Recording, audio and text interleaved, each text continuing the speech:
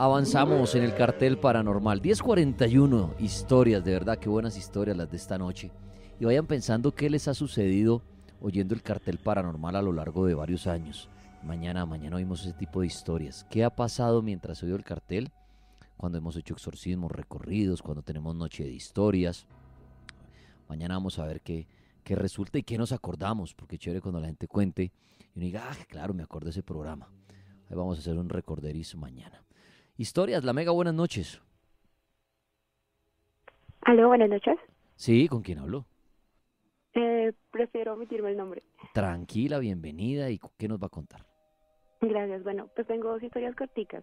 Dale. Eh, una es una historia que pues tuve con una mascota, ¿sí? Eh, en mi Sí. casa hace unos años tuvimos una mascota de raza pequeña. Eh, esta mascota vivió con nosotros, era una perrita. Vi- Vivió casi 17 años con la familia.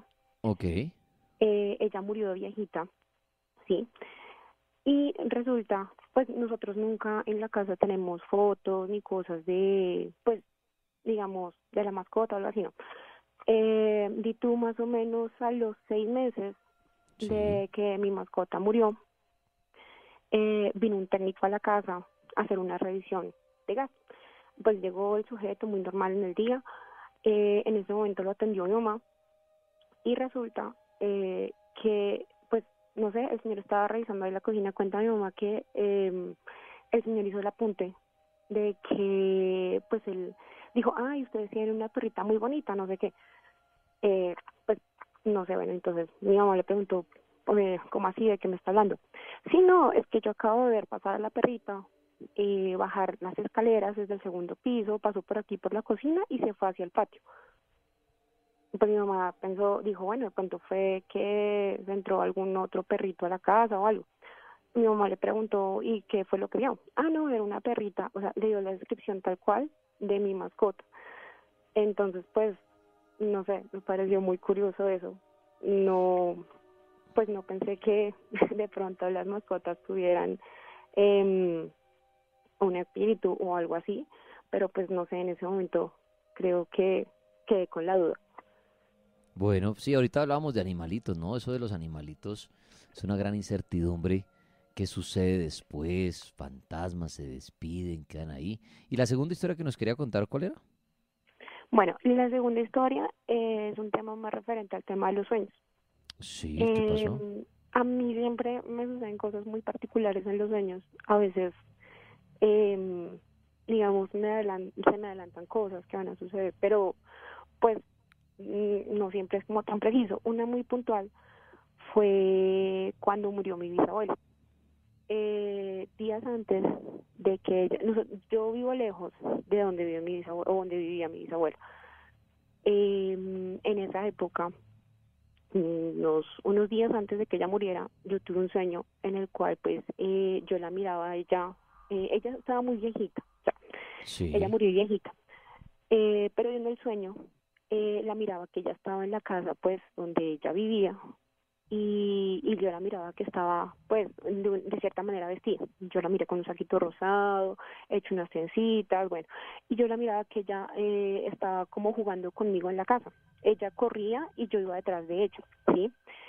Eh, llega un momento, ella sale de la casa, ¿sí? Ella vivía en una zona rural y eh, ella toma uno de los caminos de la vereda y veo que ella se reúne con más gente. Hay una procesión de personas que van desde el lugar donde ella vive hacia el cementerio del, pues de la zona rural donde ella está Sí. pues a mí me pareció muy curioso y yo pensé, bueno, pues en el sueño yo pensaba como, no sé, esta gente está loca, pues es, es muy curioso, iba mucha gente en procesión.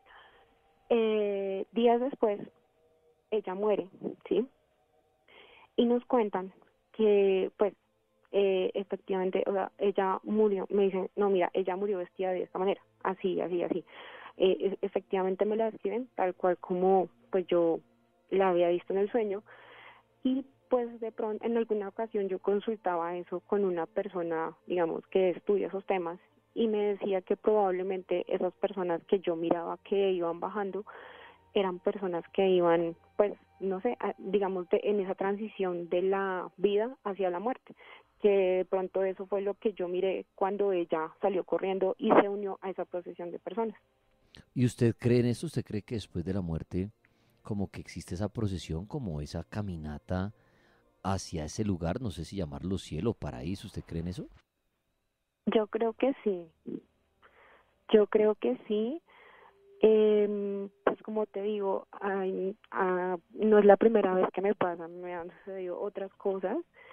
Eh, yo nunca he visto como, no sé, a veces como yo escucho historias de que las personas ven eh, fantasmas o cosas. No, yo nunca he visto eso, pero, pero sí a veces percibo cosas o inclusive dentro de los mismos sueños, personas eh, que yo a veces no conozco y no sé, después me entero que algo pasa. Entonces, pero yo sí sí creo mucho en eso y, de pronto con la formación espiritual que tengo eh, también eso pues me ha inculcado mucho también esa creencia en, en, en como en una vida después de la muerte. Muy bien, pues bueno, muchas gracias por compartir su historia.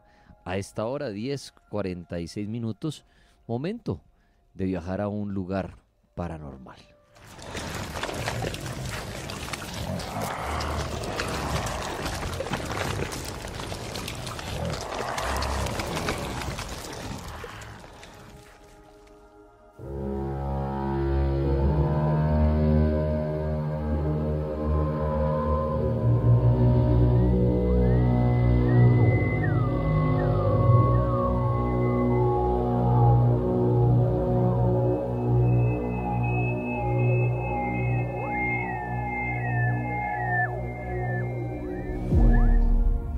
El mundo está lleno de misterios. Y tú vas a conocer cada uno de ellos. Un lugar paranormal en el mundo. En el cartel paranormal de la Mega.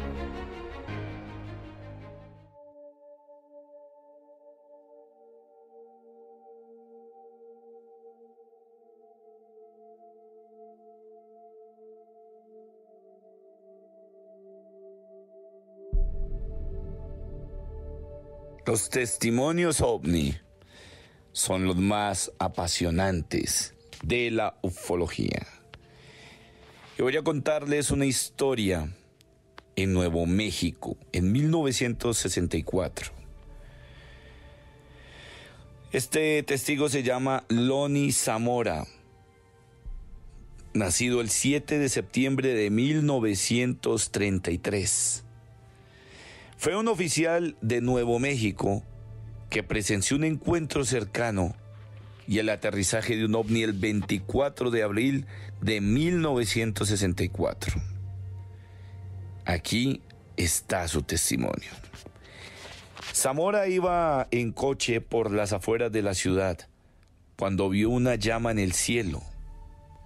Se dirigió a ella y vio en el suelo un objeto brillante con forma de huevo y patas de metal.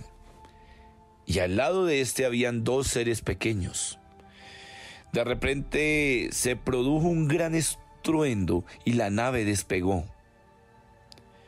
Zamora avisó rápidamente a sus compañeros. Cuando estos llegaron al punto donde Zamora estaba,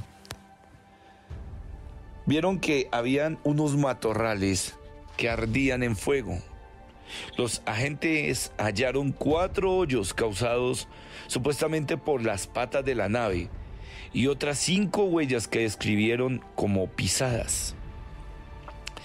Los investigadores de las fuerzas aéreas no hallaron explicación de lo que vio Zamora. Cuando Maurice Massé, granjero de Valensole en Francia, vio un dibujo de la nave de Loni Zamora, se asombró porque era la misma que había visto él en sus campos de lavanda un año más tarde, en julio de 1965, donde también pues, visto a dos seres. El encuentro de Zamora produjo una considerable exaltación en los medios de comunicación. Y esta, considerando como uno de los mejores avistamientos de ovnis documentados bajo una conducta extraña. Esto era lo que las coartadas le ayudaron a convencer al gran astrónomo J. Allen Hynek de que algunos informes ovni presentaban un misterio intrigante y obviamente sin resolver. Según Ana Druffel, el caso de Socorro, el de Loni Zamora, es único en los expedientes oficiales OVNI de las Fuerzas Aéreas de los Estados Unidos. Según un documento del proyecto Libro Azul, este es el único caso OVNI en los archivos del proyecto Libro Azul que oficialmente, ojo con esto, es inexplicable. Aún tal vez que varios eh, rastros físicos abandonados en la escena del suceso y del avistamiento de los ocupantes de la nave estaban allí. Loni Zamora falleció el 2 de noviembre del 2009 a los 76 años de edad. Son muy curiosos los casos de testigos de, de avistamientos ovni. Sobre todo porque para la década en la que se registró este, el boom no estaba tan contaminado como lo que pueden escuchar o la gran diferencia de lo que se puede escuchar hoy en día con otros testimonios que seguramente les daré a conocer a través de estos estos mismos audios de del cartel paranormal de la Mega. Mi nombre es Edwin Robles y si usted se quiere comunicar conmigo para cualquier tipo de consulta a nivel general, sobre todo sobre brujería y magia negra, puede hacerlo a través del 301-675-0222, 301-675-0222. Y también me pueden encontrar en Instagram como Robles Edwin y para los amantes de los libros estoy como Letras Escarlata. Que pasen muy buenas noches, si es que pueden.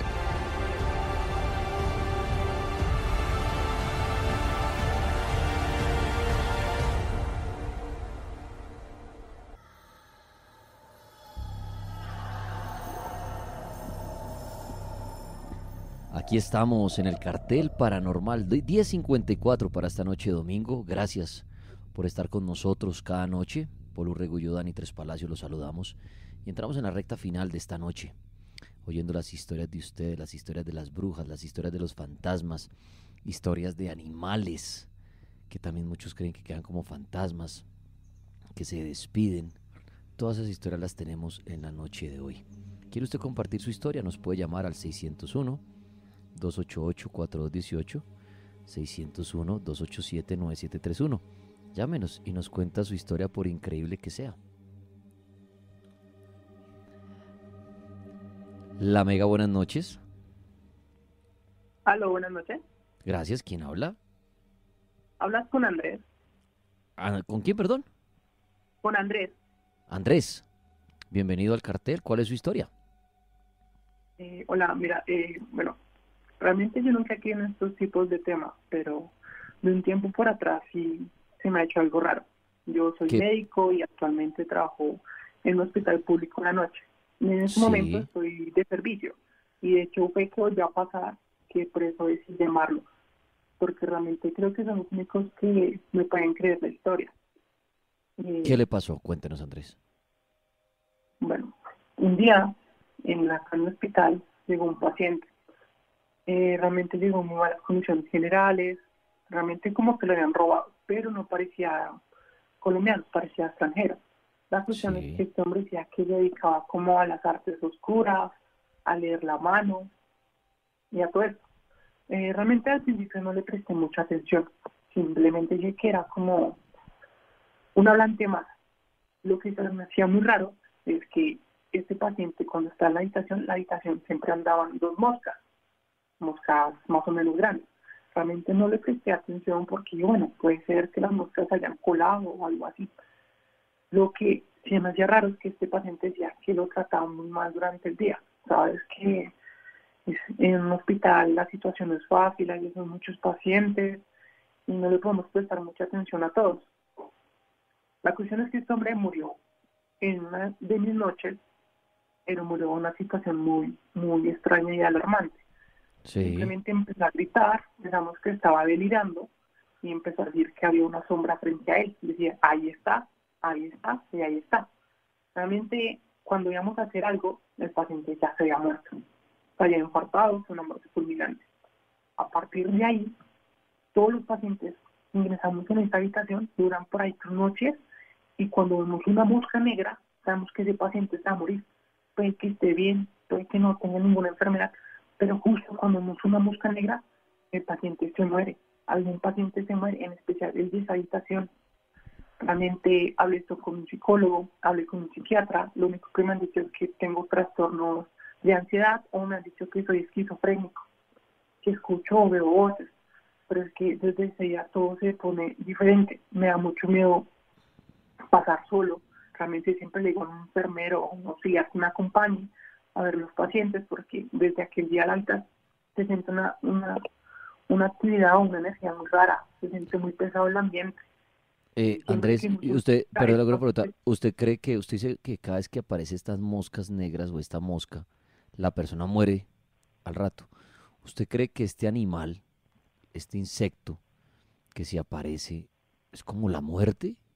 Puede ser como un ser, pero que se manifiesta de esa manera y ¿qué piensa usted de eso? Realmente sí, o sea, es, es un signo de muerte total. O sea, tú la ves y bueno, una vez le comenté al enfermero y a los auxiliares y una vez matamos una mosca. Y lo raro fue que después de que matamos esa mosca aparecieron otras dos moscas. Y ya, y ya, o sea, sabemos que un paciente va a morir cuando hay una mosca. Siempre es fijo seguro. Y bueno, pues qué extraña esta historia, Andrés, muchas gracias. Mire, un médico llamando a contar esta historia en un hospital que siempre que se aparezca la mosca ya saben que un paciente va a morir. ¿Será que la muerte se puede mostrar de esta manera? Algunos también han oído esta historia, pero en mariposas negras. En esta ocasión era una mosca. ¿Será que es la muerte? Y se muestra de esa manera anunciando que alguien se va a llevar. Son historias paranormales hasta ahora cuando ya estamos eh, pisando las 11 de la noche para este domingo. Un abrazo a usted, amigo Taxibris, que hasta ahora de pronto, ya hasta ahora en un domingo, está por ahí parqueado con los compañeros, tomándose un tintico, oyendo historias. A mis amigos guardas de seguridad también ya hasta ahora tranquilos en su portería. Eso sí, echen llave y disfruten de estas historias. Ya traemos otra.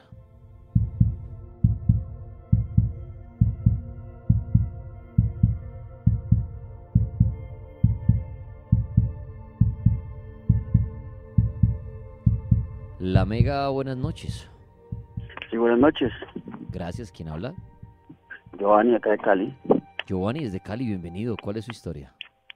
Sí, mira, referente al tema de las mascotas que si se despiden cuando mueren, también pienso lo mismo. ¿Le pasó? Resulta, sí, sí. Eh, teníamos un, un gatico, ¿cierto? Sí. Resulta que el hombre, pues yo soy vigilante, el hombre cuando yo llegaba de trasnochar, tenía la manía yo de acostarme en un mueble a darle noticiero en la mañana mientras me daba otra vez sueño. Sí. Y el gato siempre yo me hacía toques en el hombro o en el brazo y lo tenía descolgado para que le diera alimento.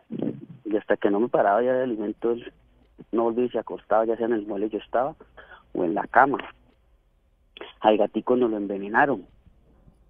Entonces él, cuando era enfermito, era debajo de la cama de nosotros, ahí donde yo dormía. Mantenía debajo de la cama, inclusive cuando murió, murió debajo de la cama. Y un día que llegué yo pues de, mi trasnocho, me senté, me acosté en el mueble a ver el noticiero, cuando yo sentí los mismos toquecitos de las almohadillas de las patitas en mi brazo, y yo, mis, no, pues obviamente no era algo, ya estaba muerto. Pues le comenté eso a, mi esposa y le dije, me tocó mis a pedirle, a pedir alimento. Y fue tan palpable, palpable como él me hacía para que le diéramos alimento. ¿Qué cree usted que y después de la muerte, qué pasa con los animalitos? ¿Cree usted que tienen un cielo, van al mismo cielo, quedan como fantasmas? ¿Qué se ha puesto a pensar usted? Sí, ese tema lo debatimos en la casa y pensamos que comparten pronto el o el otro plano lo comparten con nosotros ya que son seres puros, pues no cargan maldad. Entonces comparten el otro plano con, con las personas pues que acceden a ese plano pues de buena voluntad, de buena fe o, que se han portado bien, pues todos tenemos pues esa creencia de que cielo, infierno. Los que deportan mal van para el infierno, los que deportan bien o hacen cosas buenas al, al cielo, al llamado cielo. Pienso que los animalitos comparten con nosotros ese plano celestial bueno. Entonces, pues, de ahí la creencia de que los animales y, y, el hombre comparten el reino de los cielos. Bueno, muy bien, bonita creencia. Para algunos es imposible, otros, como él sí piensan, los animalitos pueden compartir el cielo, lo comparten. Historias hasta ahora. Paul, otra historia. La Mega, buenas noches. ¿Aló, La Mega? buenas noches. ¿Quién habla? Buenas noches. ¿Quién habla? Prefiero omitir el nombre. Bueno, ¿desde dónde nos llama? De, la costa, la costa. Perfecto. Adelante con su historia para esta noche. Bueno, en realidad tengo varias historias, pero prefiero contar la que se me ha hecho más, más evidente. Adelante. Resulta y pasa que en mi casa había un tío que casualmente nunca llegaba a dormir. Ese día fue porque mi tío trabajaba en fincas y eso, nunca tuvo una casa fija. Ese día llegó a la, a la casa a pedir que si podía quedarse esa noche ahí. Bueno, bien, se, se quedó esa noche ahí. De hecho, yo estaba ahí cuando él llegó, le, asignamos la habitación, tío puede dormir en esta cama y él, tío se quedó dormido. Sí. recuerdo que en el pueblo había fiesta. Yo me vestí, me fui para mi fiesta y estando en la fiesta vi a tío, a mi tío, el que había dejado acostado lo vi. Conmigo. Como había mucha gente, entonces él se me, se me desapareció eh, en, en, medio de tanta gente, se me desapareció. No, no fue posible alcanzarlo. Bueno, cuando yo me disfruté mi fiesta, todo, todo, todo, todo, a eso de las casi 12 de la noche, me dispuse a regresar a la casa. Cuando yo iba llegando a mi casa, próximo a una cuadra más o menos, vi un, una gran cantidad de gente en la puerta de mi casa y dije, ¿qué pasó? Antesito de llegar a mi casa, le pregunté a un vecino, ¿qué pasó en la casa que se está yendo? No, que se murió tu tío. No, pero ¿hace cuánto? No, que tu tío se murió apenas tú saliste. Y estoy segurísimo que yo lo vi en la fiesta. Esa es la historia que quería contar. ¿Piensa usted que su tío fue a despedirse de usted? ¿Tenía usted una relación muy cercana con él? Pues no, en relación cercana no, porque casi nunca hablaba conmigo. Yo estuve hablando con, con una persona que supuestamente conoce el tema y dice que de pronto fue que él dejó algo pendiente o plata por por por dar o algo porque él, él, le gustaba hacer negocio él, él, vendía ganado vendía tierras pero no se lo compartía a ninguno pues porque el señor nunca tuvo familia ni hijo nada nada de eso han intentado buscar de pronto ayuda para hacer algún tipo de contacto con la entidad por si pues en muchas ocasiones se dice que quedan penando las almas no Sí, exacto. Eso fue lo que me dijo la señora. Bueno, pasó eso, yo, a mí se me hizo raro, pues, yo soy una persona cristiana, cristiana evangélica, yo, yo casi eso no, no, no creo. Bueno, bien, como por acá por los pueblos están las costumbres de que uno se, se levanta, pues, no va exactamente al baño, sino sale a, orinar en el patio.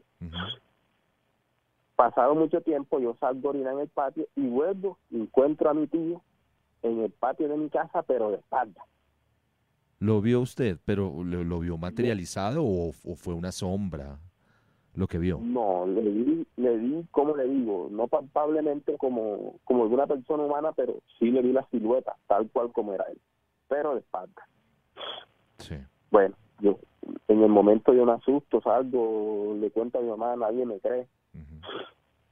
Y así pasaron pasaron varias varias varias ocasiones, como pero en tiempo transcurrido por ahí póngale en un trayecto de, dos meses, así, a veces de seis meses, ya yo está, hasta me estaba acostumbrando a eso, porque ya última no me estaba dando miedo. Le pregunto, le pregunto a la señora, a la misma señora, a la que se puede decir la que me está ayudando con ese tema, y me dice que que yo tengo que enfrentarlo, que yo tengo que hablarle, que si se necesita. Sí, para ayudarle, ¿no? sí, sí, enfrentarlo, tío, que necesita, qué quieren, qué le puede ayudar Eso me dijo la señora. Bueno, pasó mucho tiempo, mucho tiempo y no me salía. Después que yo hablé eso con la señora. Cuando, póngale por ahí más o menos un año, quizás, tal vez, vuelve y me aparece. Cuando yo le, hay que decirlo, yo soy cristiano y creo en Dios y todo eso, y humanamente a uno de esas cosas le dan miedo. Cuando yo le pregunto a mi tío, ah, yo tenía mucho miedo, tío, ¿qué necesita con voz, con voz un poco temblorosa? Sí. Entonces, cuando yo le pregunto eso, él intenta darme la cara. O sea, voltearse, pero no, no me da la cara del todo. Y sigue su camino. Más nunca me salió.